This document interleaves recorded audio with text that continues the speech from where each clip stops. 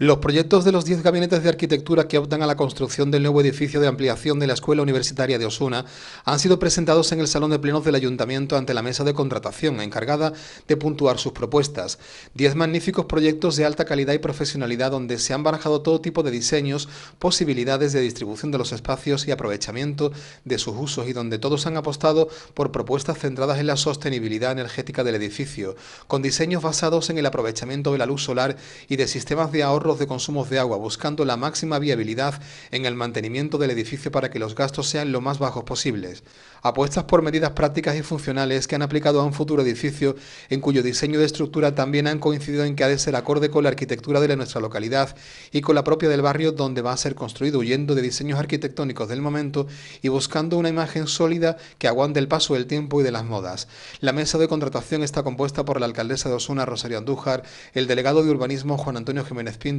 el delegado de Obras Benito Eslava, el arquitecto municipal Rafael González del Río y la secretaria municipal Rocío Carrasco. Y por parte de la Fundación Universitaria forman parte de esta mesa el director de la Escuela Universitaria Juan Manuel Moreno, el gerente y el secretario de la misma Carlos Chavarría y Francisco Javier Muñoz respectivamente. Una mesa de contratación cuya función ahora será la de asignar una puntuación determinada a cada uno de los proyectos para determinar cuál es el que mejor se ajusta a las necesidades del edificio y al pliego de condiciones establecido por el Ayuntamiento de Osuna. En este sentido, las características de este nuevo edificio, que se denominará Centro de Recursos, Aprendizaje e Investigación en el Medio Rural, se basan en construir unas instalaciones sobre una superficie de 6.800 metros cuadrados que se distribuirán en tres plantas y estará ubicado en la Avenida de la Constitución, junto a la residencia universitaria. Dispondrá de 16 aulas, un aula de informática, 22 despachos, 14 seminarios y todos los espacios auxiliares como biblioteca, laboratorios, sala de lectura, conserjería, cafetería, comedor y aparcamientos.